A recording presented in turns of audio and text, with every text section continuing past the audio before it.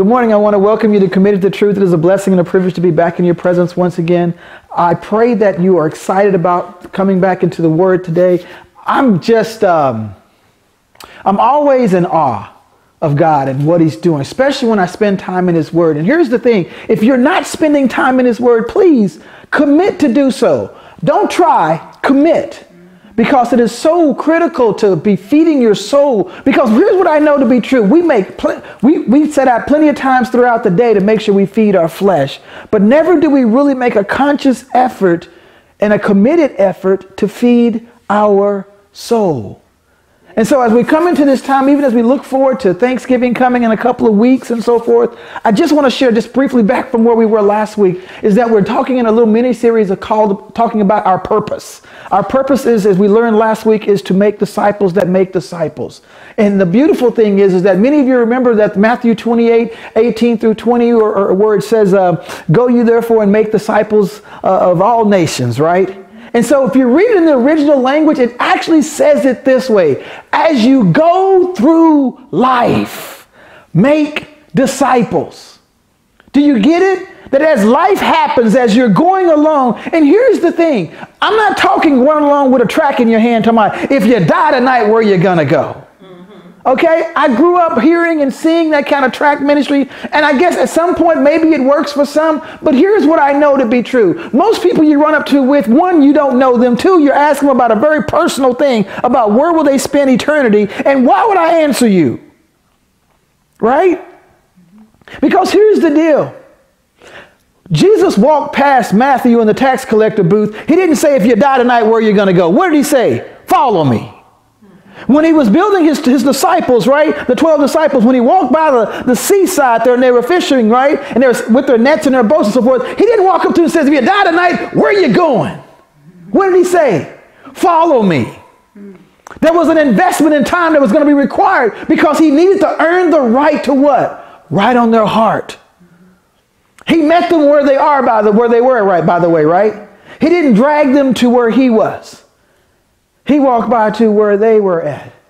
He went into their pathway. Did he not? This is where I want y'all to get this piece because as we come to the second part of our, our purpose little mini series message, if you look with me over into Luke again, Luke chapter 10, around the 30th verse, I'm going to talk to you about what it means to meet someone in the point of their need, but also to be in their pathway. And this is where Jesus is dealing with the uh, um, one of the Pharisees of the law. He's questioning Jesus in this matter to say, Who is my neighbor? Right? And I love this because Jesus could have said any number of things because he asked him the question the, the, the lawmaker first asked Jesus was this How do I gain eternal life? And he says, first, to love the Lord thy God with all thy heart, all thy mind, all thy body, all thy soul, all thy strength. And the second is to love your neighbor as yourself. And then he swole up and said, Well, Jesus, who is my neighbor?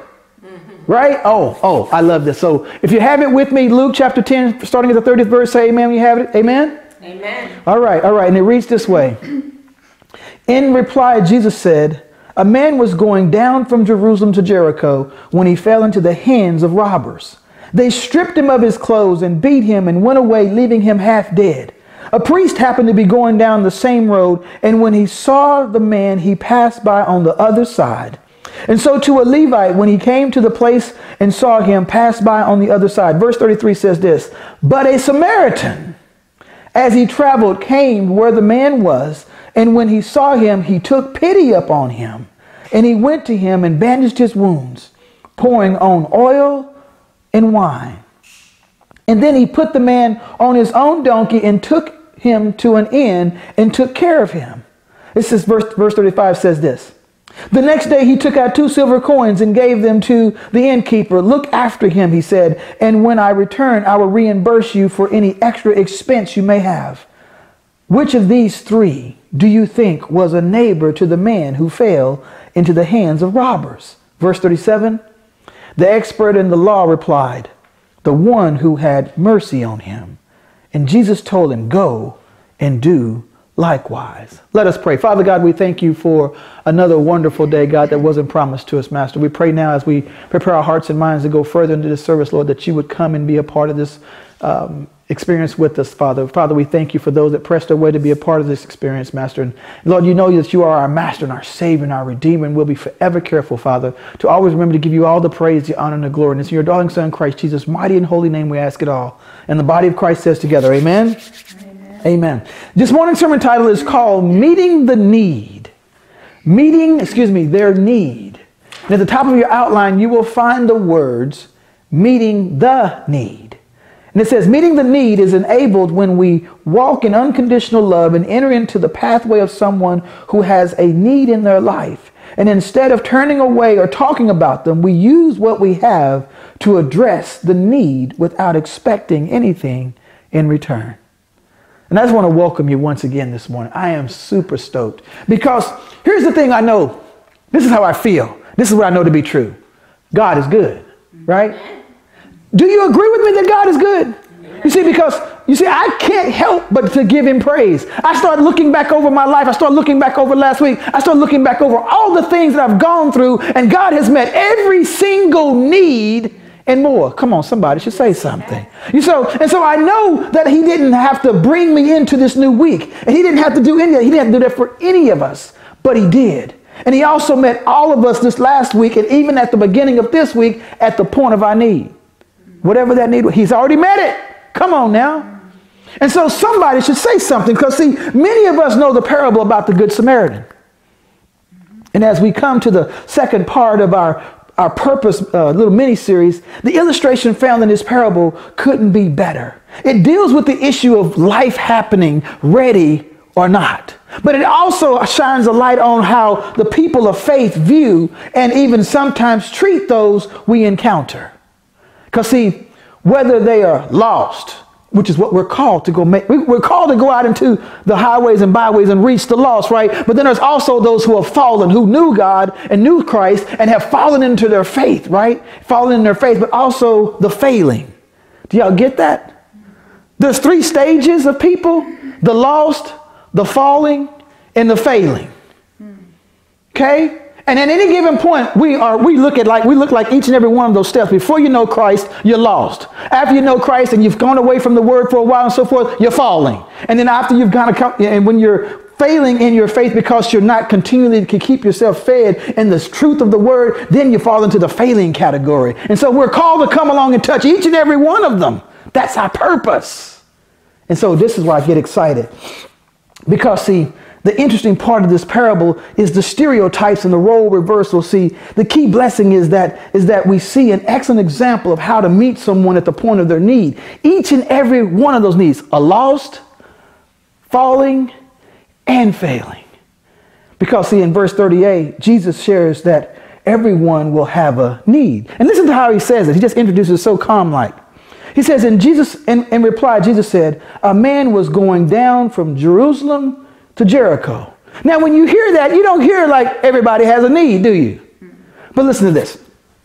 The road this man was on was a 17 mile journey, which was known to harbor robbers, right? And they would hide along in caves and along the way and attack their victims. But even if this road didn't have its known history of trouble, here's what's unique. Trouble and problems are never far from mankind. Somebody should say something. Job writes this in Job chapter 14, verse 1. He says, a man born of a woman is of a few days and full of what? Trouble. Right? And so here's the deal. Whether a person is lost, their soul is lost, they've got a need. Whether they're hungry, they've got a need. Whether their mind is troubled, they've got a need. Whether there's been death in their life, they've got a need. I want you to understand, everyone has a need. Come on now. And it's in verse 30b that we see that the thief comes without warning. And it says this, and when he fell into the hands of robbers. They stripped him of his clothes, beat him, and went away, leaving him half dead. Do y'all get it? Now, I want you to realize the person in this story that this parable is telling is, is most likely a Jew. So there's a Jew leaving Jerusalem, going down to Jericho, making this treacherous journey down this road, and he's attacked. Evil falls upon him. And here's the key part. What is interesting about this part of this parable is that the thief or the robber came without warning. Also, the man wasn't doing anything to create this situation to happen to him. Do y'all get this? Trouble comes ready or not. But nevertheless, the tragedy fell upon him. So we can't stop the thief from coming, but we can walk in the abundant life in Jesus Christ. Jesus shares these words in John chapter 10, verse 10. He says this The thief comes only to steal and to kill and to destroy. He says, But I have come that you might have what? Life and life more abundantly. Somebody should say something, right? Isn't this good? It's good. And so, as a child of God, we should know this better than anyone. And because we know this, and because we have this love of God in our hearts, we should be one of the first to offer aid to somebody in trouble. Somebody should say something. Because see, here's the deal we're the first to talk about it, but are we the first to offer aid? You see, but it's in verse 31 that we see sometimes we miss church on the way to church. It says a priest happened to be going down the same road, and when he saw the man, he passed by on the other side. Do y'all get that? Do you realize we're talking about how do you reach the harvest? You got to go into their pathway. That's how you reach the harvest. You got to go into their pathway. So, and otherwise, we will miss the divine appointments God places in our pathway if we're not willing to engage in them when they come. And so, by simply looking the other way, we miss it. Here's the deal it's not like he didn't see the man, mm-hmm. he just didn't want the issue. Right. Come on now. Mm-hmm. But one must ask the question why didn't the priest stop and help? What happened to loving your neighbor as yourself, right? What happened to, to, to, being what God called you to be, right? So he was a religious leader and should have set the example, right? He's the priest. Shouldn't he have set the example for others to follow? But whether it was fear of being robbed himself or being seen associated with someone who was in a fallen state, he missed the opportunity to write on a heart. Do y'all get that? He missed it. For whatever his outside concerns or situations was, he missed the opportunity. For the Apostle Paul shares in Philippians chapter 2, verses 3 through 4 these words Do nothing out of selfish ambition or vain conceit, but in humility consider others better than yourselves. For each of you should look not only to your own interest, but also to the interest of what? Others. How powerful is this message? Right? But it got, you got to die to self in that position. But Paul shares these words in Galatians chapter 6, verses 9 through 10. He says, Let us not become weary in doing good, for at the proper time we will reap a harvest if we do not give up. Verse 10. Therefore, as we have what? Opportunity let us do good to all people. Do y'all know all means all, and that's all that all means? It means believer, non believer, whatever, whatever. Especially to those who belong to the family of believers. And often, what is illustrated at the head of the church is mirrored, by the way, in the body. Somebody should say something. Because, come along, looking at verse 32, we see the body. So to a so to a Levite, when he came to the place and saw him pass by on the other side. Now, could the priest say anything to the Levite now because he passed by? Could the priest call the Levite out? He can't. He just did the same thing. He set the example. Right? So he's not going to call him out because then the Levite had any presence of mind. He go, well, didn't you just walk past him too? But you see, the Levites were responsible for taking care of the tabernacle and assisting the priest in their ceremonial duties, right? So if you want to bring it to present day time, it'd be elders and deacons as those people, right? And so this is the second time in this parable that Jesus makes reference to the religious failing to help someone in need. And here's the deal we got so many churches, especially some uber goober big ones, right? Where are we meeting the needs of those in need? I got this one article that keeps floating around that keeps showing up on my timeline on so, my social media things about this one church that paid off $7.8 million worth of uh, hospital debt, which was beautiful. But shouldn't we have more stuff like that? That'd be great, right? But here's the thing I found in scripture where Jesus deals with the religious who failed to meet the needs of those who encount- they encountered Jesus shares his words in Matthew 25, verses 42 to 45. He says this For I was hungry, and you gave me no food.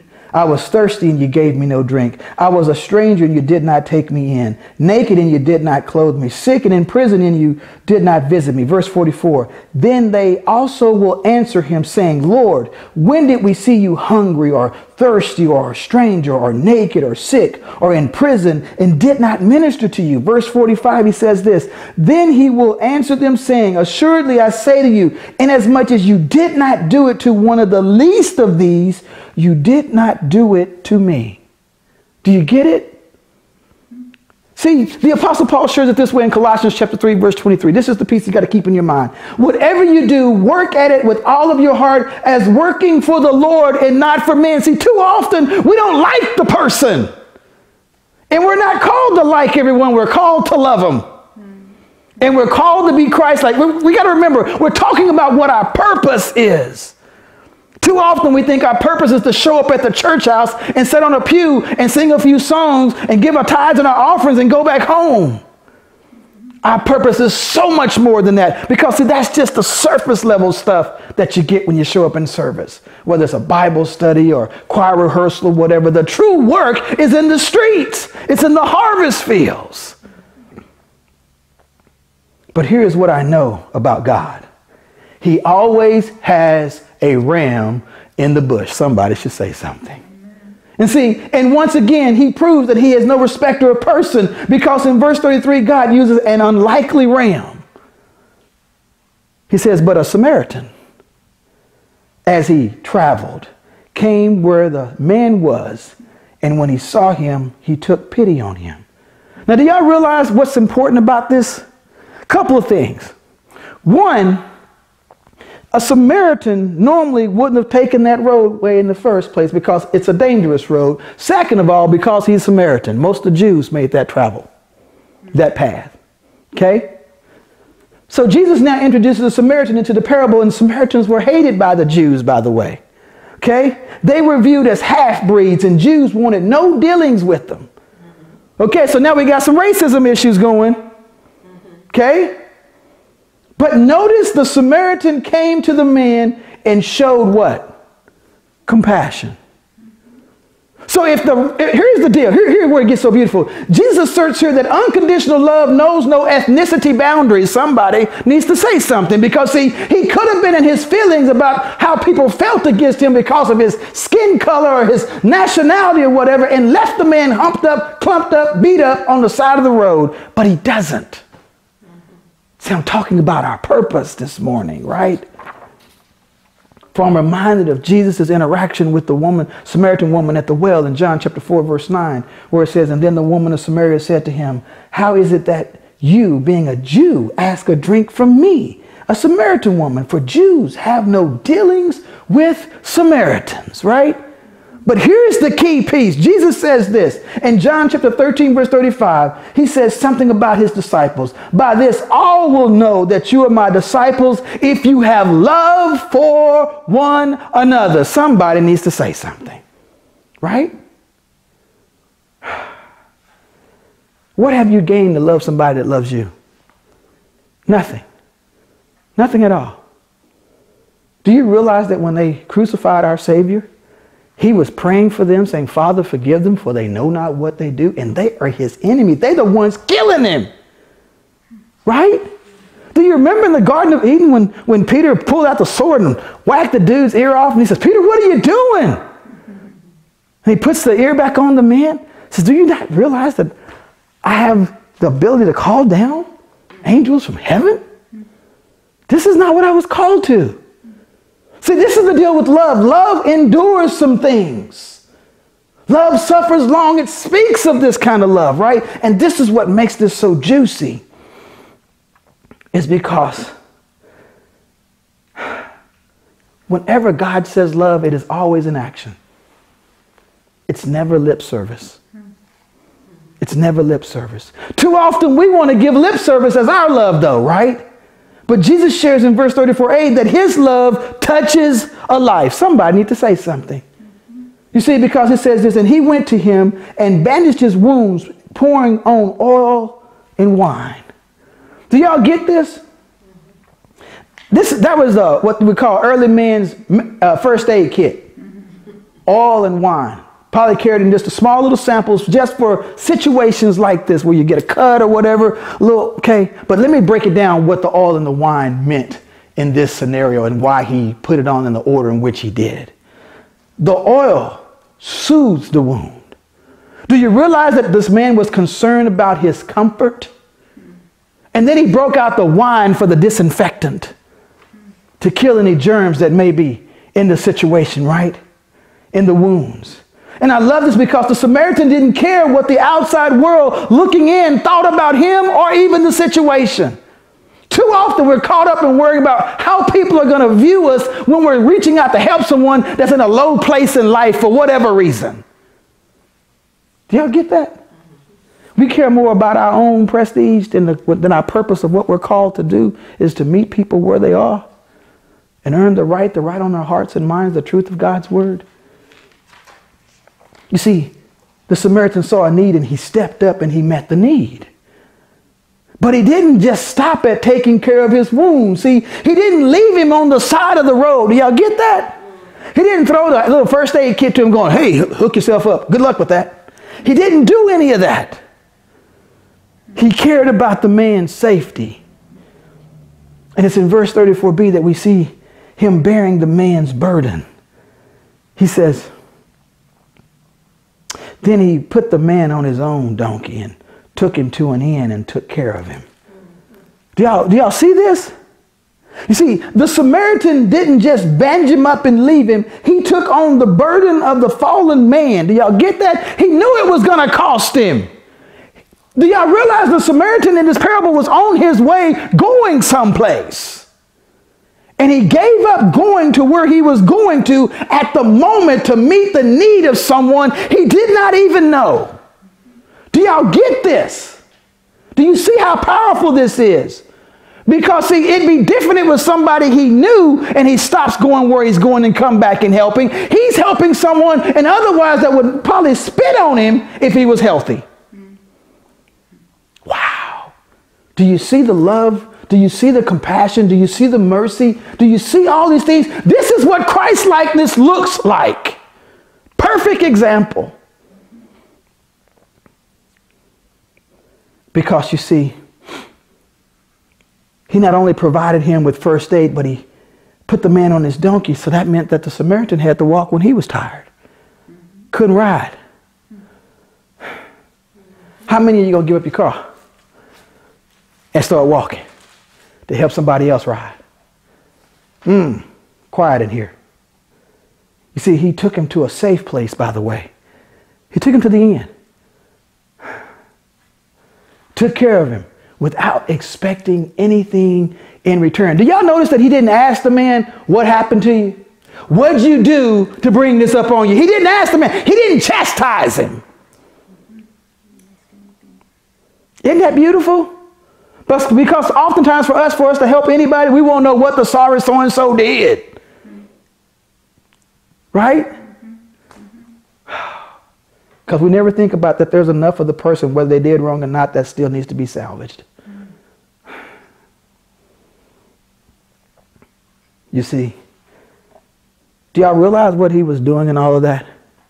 The Samaritan was earning the right to write on his heart. Do you think that if the Samaritan had any message that he wanted to deliver after this man was well, do you think this man would have been in a position to hear him now? Mm-hmm. Why? because he met him at the point of his need and beyond. And beyond. Come on now. Woo! Woo! See, do y'all realize the testimony the Samaritan has this morning? And see, most of us by now would have said, at this point, I have done enough. Right? I didn't bandaged up his wounds, didn't put my own self at risk. I didn't put him on my donkey and brought him back and put him in an inn. I didn't spend a day with him. Many of us would have said, I've done enough. Look at what Jesus shares in the illustration in verse 35. It says, Then the next day he took out two silver coins and he gave them to the innkeeper. Look after him. And he said, And when I return, I will reimburse you for any extra expense you may have. What do you see here in the Samaritan? I see he invested his time by staying with the man a day. But I also see he invested his money. Huh? And to have others look after him until he was well. But then also the Samaritan, he also committed to what? Follow up. He didn't say I was going to try. He committed to follow up. Do you realize that when God is doing something, he is always committed, he's never trying. And when you consider the action of the Samaritan and those of the priest and the Levite, which one looked like Jesus Christ? Mm. The Samaritan. Oh, that's the beauty of this. See, I'm talking about our purpose this morning, right? And, and because Jesus asked that exact same question in verse 36, he says to the, the expert of the law, which of these three do you think was a neighbor to the man who fell into the hands of robbers? Say another way. Who met him at the point of his need? It was the one who showed him mercy. You see, if all we have is faith, but our faith has not manifested itself into an outward expression of works and love, then our faith is dead. James says it this way in James chapter 2 verse 17. He says, "Thus also faith by itself, if it does not have works, is dead." You see, we're called to be imitators of Christ. And if all we are is an outer shell of what Christianity looks like, then our faith is not real. Somebody should say something. And this is what Jesus was teaching the expert of the law. See, here's the deal. The expert of the law, he had all of the head knowledge, but none of the heart knowledge of God's word. And that's many of us. We can go back to the original language. We can quote scripture. We can do all this. We got all of this head knowledge, but no heart knowledge. That's why I always say that the greatest journey in a Christian's life is 18 inches. It's not from the birth canal to the grave. It is from the brain to the heart. 18 inches. Whatever you know in your mind, let it make that journey down your brain stem to your heart stem. And it actually changes your life because you live out of your heart and not so much out of your head. Because you never find him saying, hide my word in your head. It's always in your heart. It's always in your heart. Hmm. Let's close this out.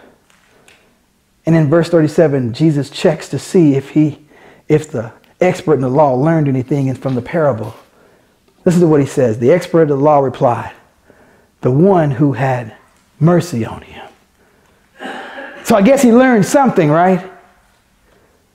And so Jesus told him, Go and do likewise.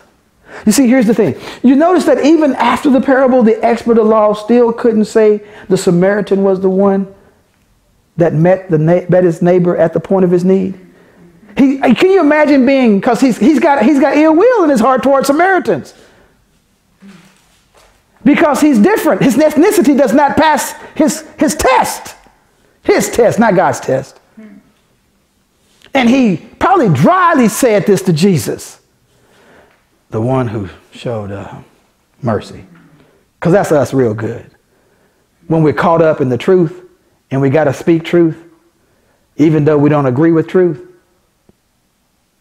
Because I want you to realize, Proverbs 14 21 says this He who despises his neighbor sins, but blessed is he who is kind to the needy.